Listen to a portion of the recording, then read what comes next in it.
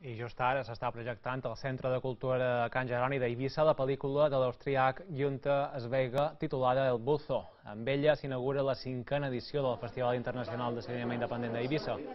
El Buzo va ser rodada íntegrament a l'illa Pitiusa i parla del maltractament i la violència de gènere. La tornaran a projectar dijous que ve, com també la resta de les pel·lícules premiades fins al 24 d'abril. Enguany hi han participat 88 produccions de 28 països diferents.